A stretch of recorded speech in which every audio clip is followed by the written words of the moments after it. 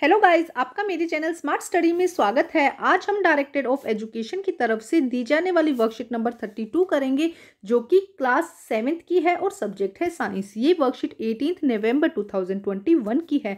तो ये शुरू करते हैं आज की worksheet light today Manish along with his friend was using a magnified lens to observe the body parts of the cockroach आज मनीष को लैब में लेके गए होंगे तो वहाँ पे मनीष क्या कर रहा था?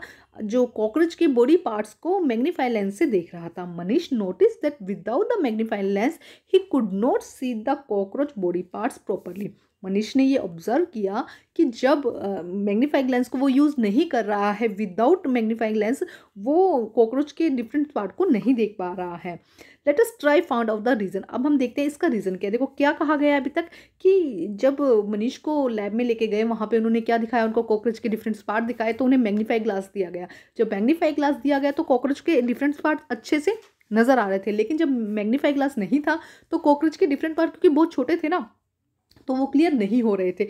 तो आइए जानते हैं इसका रीज़न क्या है। मैग्नीफाई ग्लास या magnify lens the magnify glass is actually type of lens it is use to read very small print ये कब यूज़ किया जाता है कि बस जब बहुत कुछ छोटा लिखा होता है, उसको उसको पढ़ने के लिए इसका यूज़ किया जाता है। Lens are widely use to spectacles telescopes and microscopes lenses का यूज़ कहाँ किया जाता है? चश्मे में किया जाता है, टेलीस्कोप में, दूरबीन में किया जाता है और माइक्रोस्कोप्स में किया जाता है। लेंस आर ट्रांसपेरेंट, ये कैसे होते हैं? लेंस ट्रांसपेरेंट होते हैं मतलब कि हम आर पार आज ईजिली आसानी से देख सकते हैं। Light can pass through them और लाइट भी इनमें क्या होती है? ईजिली पास हो जाती है। तो देखो क्या कहा अभी हमने, देखो जो चश्मे होते हैं, स्पेक्ट्रल्स होते हैं, उसमें दोनों टाइप के लेंस, कॉनकेव और कॉन्वेक्स लेंस यूज़ किए जाते हैं। अब देखो, हम कहते हैं लेंस की बात कर रहे हैं ना तो लेंस यहाँ पे टू टाइप के होते हैं। एक होता है कॉन्वेक्स और दूसरा होता है concave the lens which is thicker in middle than at the edges are the convex lenses देखो, कौन से लेंस ऐसे लेंस जो मिडल में थीकर होते हैं मतलब कि बीच में से क्या होते हैं? मोटे होते हैं। देखो, ये लेंस वो लेंस जो क्या होते हैं? बीच में से क्या है? मोटे हैं और साइड से क्या है? पतले हैं। ऐसे लेंस को हम कॉनकेव सॉरी कॉन्वेक्स लेंस कहते हैं। Convex lens converse the light generally falling on it अब इस पर कोई लाइट गिरती है? ध्यान से समझो क्या कहा जा रहा है। जब कॉन्वेक्स लाइट लेंस पर कोई लाइट गिरती है तो वो कन्वर्स कर देता है मतलब बैंड कर देता है अंदर की तरफ़। इस तरह से देखो। इस तरह से क्या कर देता है? उस लाइट को बैंड कर देता है। ठीक है?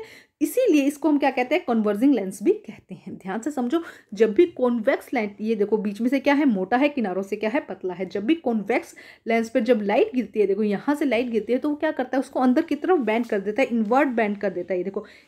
ठीक है? इस तरह के लेंस को हम क्या कहते हैं? कॉन्वेक्स लेंस कहते हैं। अब सेकंड देखते हैं concave lens the lens which is thinner in the middle than at the edges of the concave जो क्या हो, किनारों से क्या हो, मोटे हो, साइडों से क्या हो, मोटे हो और बीच में से क्या हो, पतला हो कंपैरेटिवली तो ऐसे लेंस को हम क्या कहते हैं? कॉनकेव लेंस ऐसे लेंस को क्या कहा जाता है?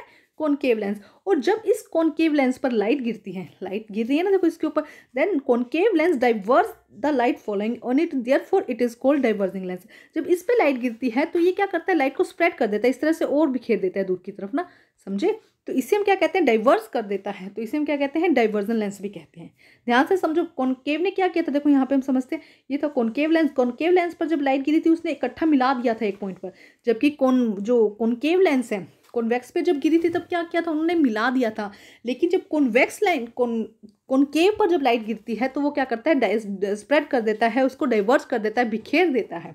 ये डिफरेंस आपको अच्छे से याद करने होंगे, ये डिफरेंस ना। अब देखते हैं आगे क्या कहा गया इमेजेस फॉर्म बाय लेंस अब लेंस पे जो इमेज बनती है, वो किस तरह से होती है? फ़र्स्ट है convex lens convex lens has form a real and inverted image जो कॉन्वेक्स लेंस है, ये जो इस तरह का लेंस है, वो हमेशा किस तरह की लेंस किस तरह की इमेज किस तरह की बनाता है? एक तो रियल इमेज बनाता है सेकंड इन्वर्टेड इमेज बनाता है। But when an object is place very close to the lens एक तो देखो यहाँ पर अगर कोई, यहाँ पर कोई, हमने कोई चीज़ रखी है, कोई ऑब्जेक्ट रखा हुआ है तो उसकी जब इमेज बनेगी कहाँ पर? कॉन्वेक्स लेंस में बनेगी तो वो क्या होगी? एक्चुअल में रियल होगी और क्या हो जाएगी? इन्वर्टेड हो जाएगी मतलब कि उल्टी हो जाएगी। लेकिन जब हम इसके नज़दीक कोई चीज़ रख देंगे, हमने कोई नज़दीक इसके लेंस के नज़दीक कोई चीज़ रख दिया तो वो क्या बन जाएगी? एक तो क्या हो जाएगी? यहाँ पर विजुअल हो जाएगी मतलब आभासी हो जाएगी इरेक्ट हो जाएगी और मैग्नीफाइड हो जाएगी, बड़ी हो जाएगी आकार से ना? देखो, ये यहाँ से समझते हैं हम, देखो, ये देखो ये देखो, यहाँ पे फ़र्स्ट हमने लिया, कौन वैक्स लेंस लिया? फ़र्स्ट हमने लिया कॉन्वेक्स लेंस ये कॉन्वेक्स लेंस है। जब हम क्या करते हैं, जो इमेज है, जो हमें इमेज बनानी है, हमने दूर रखी है, इससे हमने क्या रखा है, दूर रखा है। तो इमेज कैसी बनेगी? इन्वर्टेड बनेगी मतलब कि उल्टी बनेगी, और क्या होगी? इन्वर्टेड होगी, और इसके अलावा क्या हो जाएगी? रियल हो जाएगी। लेकिन जब हम इसके नज़दीक वही चीज़ ले आते हैं कॉन्वेक्स लेंस के नज़दीक हम वो चीज़ ले आते हैं तो फ़र्स्ट तो क्या हो जाएगी? यहाँ पर विचुअल होगी इरेक्ट हो जाएगी सीधी, और इसके साथ क्या हो जाएगी? साइज़ जितना दिया है ना, उससे बड़ी हो जाएगी। ये वाली बात समझ गए होगे आप। उसके बाद when it is use to object that magnification the convex lens is called magnify glass जब हम क्या यूज़ करते हैं? मैग्नीफिकेशन के लिए यूज़ करते हैं, बड़ी चीज़ करने के लिए यूज़ करते हैं तो उस समय से क्या कहते हैं? मैग्नीफाई ग्लास कहते हैं। ठीक, अब है कॉनकेव लेंस एक concave lens always form erect हमेशा क्या बनाएगी? इरेक्ट बनाएगी एंड विचुअल बनाएगी। हमेशा आभासी प्रतिबिंब होगा इसका और इरेक्ट होगा स्मॉलर होगा इमेज से। इसमें ये वाला याद कर लो आप अच्छे से कि कॉनकेव लेंस जैसे कि ये वाला जो लेंस है, हम ये वाला जो लेंस है, ये कैसी इमेज बनाएगा? ये हमेशा स्मॉलर बनाएगा, छोटी होगी इरेक्ट होगी, सीधी होगी और वर्चुअल होगी, आभासी होगी। तो ये बहुत ही आसान सी हमारी आज की वर्कशीट थी। अब इससे रिलेटेड हम क्वेश्चंस कर लेते हैं। देखो क्या कहा गया है? क्वेश्चन में फटाफट समझते हैं।